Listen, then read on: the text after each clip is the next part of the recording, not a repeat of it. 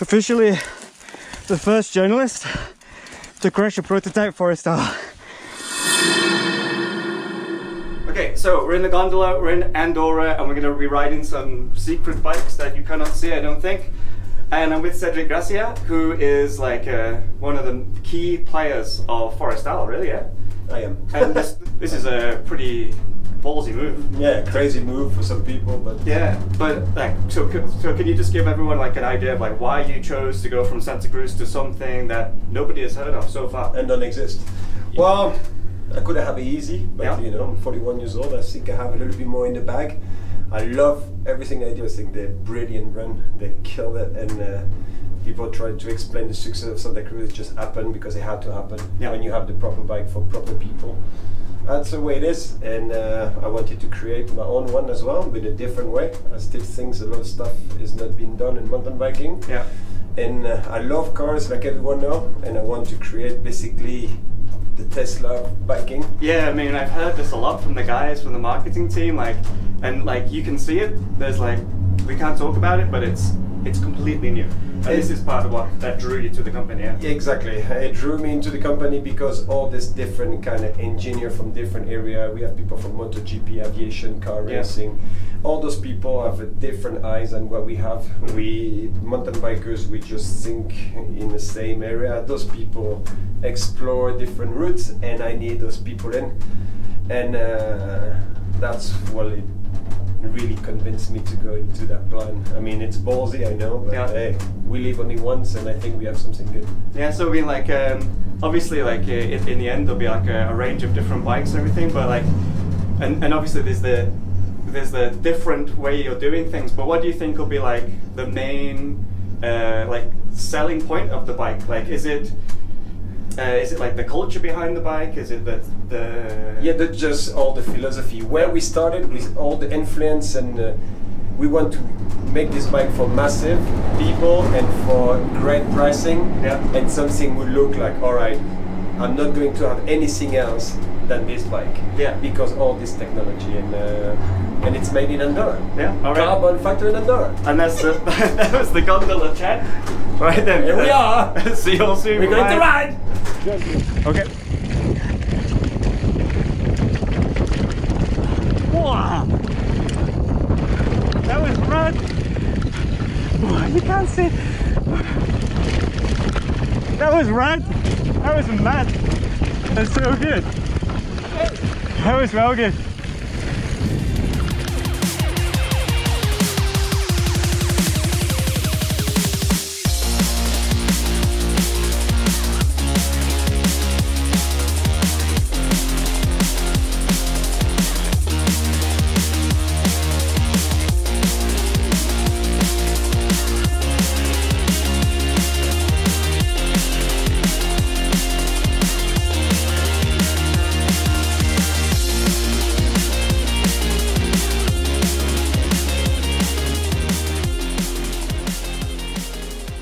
Okay, actually, we were just talking then. Um, we've just done a quick run, and Cedric left me for dust because he's an amazing rider and I'm crap. But uh, you're not crap. so uh, I show you crap. yeah, you're not crap. So actually, we, we were just talking then, and it's like um, you said, like people ask the same question. It's like I, I know the things that we can talk about and what we can't talk about. So what are the most obvious questions that people ask about Forestal? Why your bike is it going to be so different? Uh, how much throttle are you going to have? What kind of wheel size are you going to have?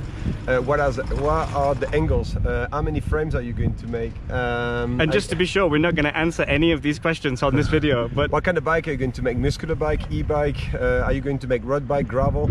I don't say I find it all my life. I find it on my last brand mm -hmm. something you just get on there and you know it's yours yeah yeah it, you feel at home right yeah, away, yeah? you feel at home, and this for me is really important. I don't like to go on something we feel awkward right away, and people try to convince us this is a new thing or the new angles. I'm like, no. If yeah, because I don't feel right, yeah, in the I end, right. yeah, at the end, it's your feelings. It's yeah, all right. Exactly. People saying like, it's like in the UK we have the longer, longer, longer, longer, longer, but it yeah. doesn't. It doesn't for everyone. It's not for everyone, is no. it? Especially when you go to tight ass corner. How do you do that? with the long, long, long thing. We don't. We go straight. Yeah, exactly. We make a new line. We make a well, new line. my bike is so stable, but Yeah, when I, I- start cornering, it's not getting in there. yeah, but it's Oh, so oh, stable no, over the bumps too. Yeah, yeah, yeah. yeah, because you you're getting between the two bumps. That's why. I've just done some runs with Cedric, and uh, that was fun. It was really, really exciting. I've had to change some settings on the fork. Uh, the rest of the bike itself is really, it feels pretty good. Um, because it's it's secret and I've had to sign an NDA, I can't really disclose any details of the bike at this stage. But I can tell you from my first impressions, it's, it's pretty stable, even though uh, it's very stable, even though I'm, I'm riding a medium, which is not really a frame size I would normally go for. I would tend to go for a large. I don't know the reach on this, but again, it does feel a bit shorter than what I'm personally used to, and I would like to try the large, but you know, it is what it is. It's a prototype. There are there are no others to try. But first impressions are pretty good. It's um, yeah, it picks up speed very well. Um, I'm hoping now with the fork tune, it changed a little bit, that I'll be able to retain some speed a little bit. Feels very confident in the air, even though I'm not the greatest jumper in the world. And because it is a bit shorter, it's really nice and whippy around the corners. Yeah, overall the feeling's really good. The pedal platform is very good. It doesn't squat around. It doesn't bob about. It's, that's a, it's a really really nice platform. And yesterday when I rode it on some climbs, it climbed really really well. It was pretty impressive. I'm a bit stuck to say as to what I can actually tell you because, like I say, it is a prototype and it is secret. But I can tell you that it's just behind this Perspex glass. And yeah, it's a very interesting project, and hopefully I'll be able to reveal more uh, in the coming months. And hopefully I'll be back again to see how uh, Forestal have changed, how they've grown, and how they've built their manufacturing and everything else here in Andorra. So yeah, I'm nearly at the top now. Uh, gonna do some more riding and hopefully stay on the bike. See you all soon. So yeah, it feels really poppy and braking feels good. Now that the suspension is really good, the front end and the back end I have no complaints at all. And uh, I've got to trust the tyres because although it's dusty, it's actually alright. I'm not doing the tabletop because they may not look it, but they're pretty big. Whoa, that's not so good. They get a lot of traffic these trails. And yeah, now I'm trusting the bike a lot more into jumping stuff.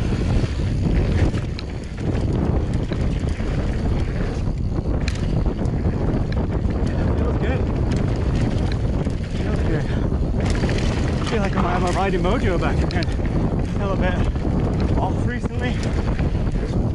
Yeah. Feels pretty good. Well, uh,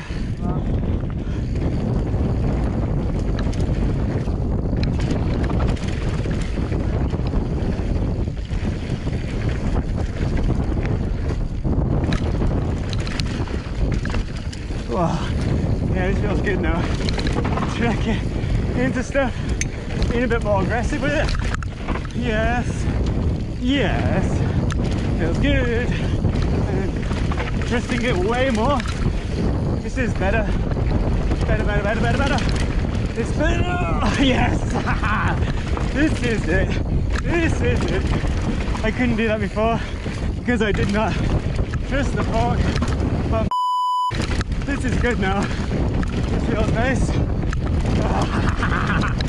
yes, yes, yes. And I think we're going to have another chat with the Forestal uh, marketing guys. They're going to tell us a little bit more about Forestal and their plans, their grand scheme to take over the bike industry. Hi guys, hi everybody. I'm Rafa Gil, Chief Marketing Officer at Forestal. And we're here in what will be our new facilities in Andorra. As you know, we're creating a cool bike brand where everything is made in Andorra. So you will see later on how big this is. It is really, really big. And I wanted to talk to you a little bit about how the marketing team is working in towards creating the bike brand. It's always cool to talk about the features of the bike, uh, the range we will have. We will have a wider range of what you've seen already, not only enduro, but also focusing on trail and other categories that I cannot mention now. Sorry, we're on a prototype stage.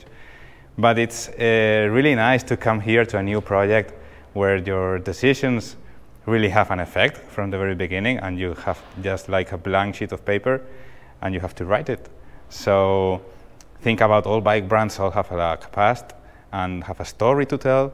So you come here and you just have to create a story, create something cool to tell to the people, and also that has a sense and connection with what you are doing.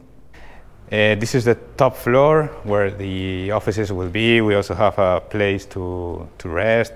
We also, well, in fact, we have some place to chill out uh, around all the factory. The factory has eight floors.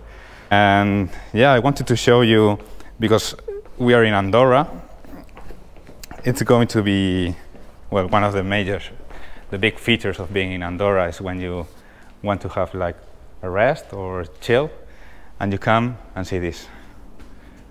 So this inspires you a lot.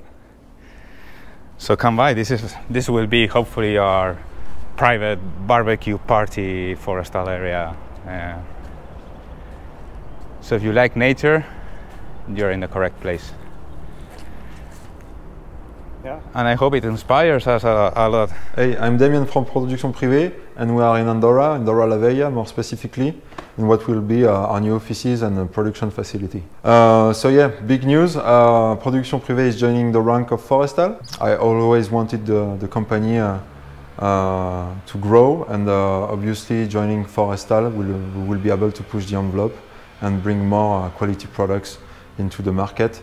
And uh, one of the biggest, uh, one of the best point of that is, uh, is that we are building a, a, production unit here in Andorra. It's a crazy project, and but I think the best changes comes with with some bold moves. two floors, and so this will be the, the office space. we have like the big terrace. We have 900 um, square meters roughly, and um, so yeah, offices for designers, engineers, administrative work, sales force. So this floor um, will be divided into, uh, two parts. One side will be uh, the there will be the restaurant of the company, and uh, a, uh, a big uh, chilling zone for people to uh, to to chill out, to to relax. So here is the ground floor, um, and it's where we are going to start to build a carbon frame. Uh, we need some EV floors and strong floors, sorry, uh, because you have to imagine that uh, uh, a, cure, a, curing line, uh, the total machinery can weigh up to 100, 120 tons. So from that wall to the to the other bottom, we here we will be manufacturing the, and curing the frames. On that side of the of the of the floor, we will be doing the lamination which needs to be clean and then go into the curing. Okay. One thing also where we need a lot of space and height, uh, it's the testing lab. All the test machines are quite high and, uh, and it's also very loud.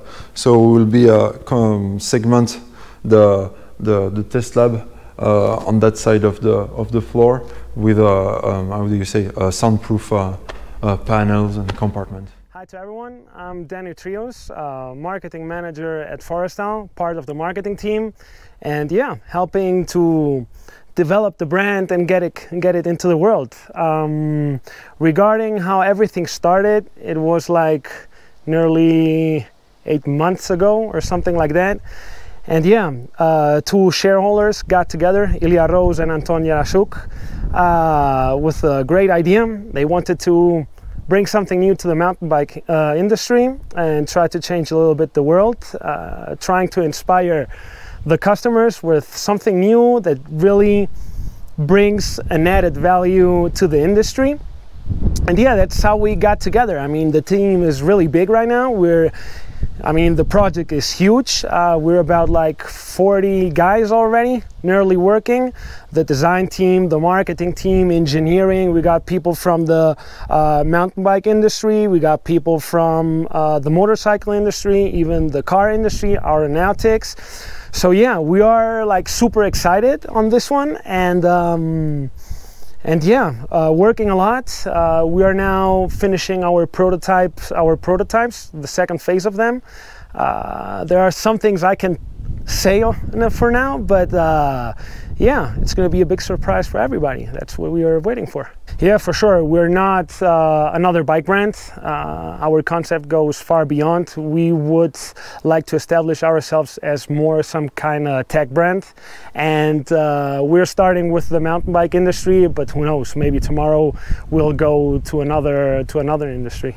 Hey everyone, so this is my last morning in Barcelona for my trip with uh, Forestal. I've been pretty lucky really. I'm the first journalist to uh, actually go and to the Forestal headquarters in Barcelona. I'm the first journo to see the prototypes and ride the prototypes and I'm the first journo to crash one of their bikes which is a, a bonus as well. So while I've been here over the past uh, few days, it's been a, like a hectic visit but it's been really fun and informative.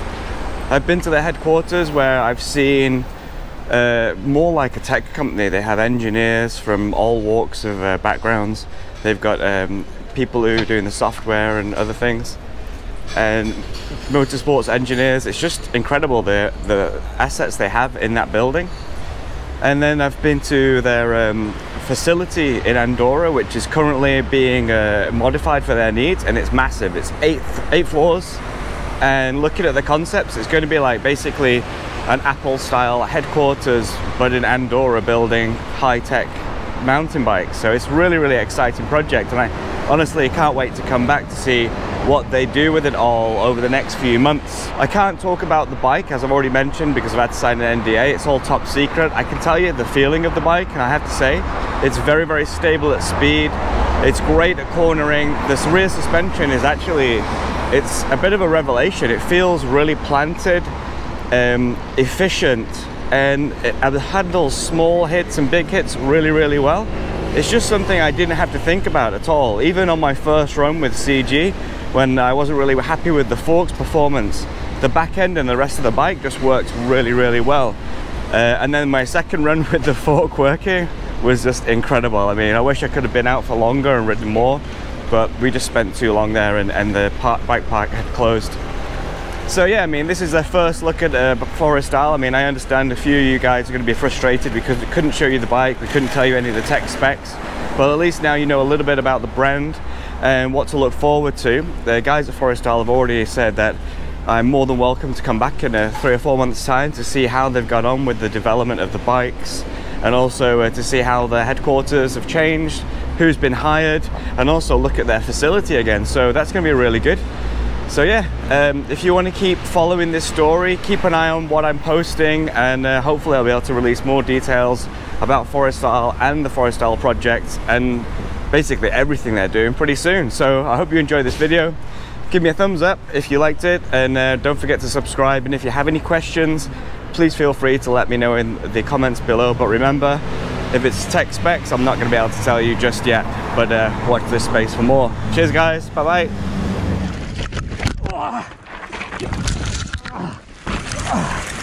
It's not an Andy ride if I don't land on my face. yeah, we can. We don't see shit. Okay, okay, cool. No, we good. Sorry, I, I say shit. That's fine. It's okay. Twice now. It's okay. It's a. It's. it's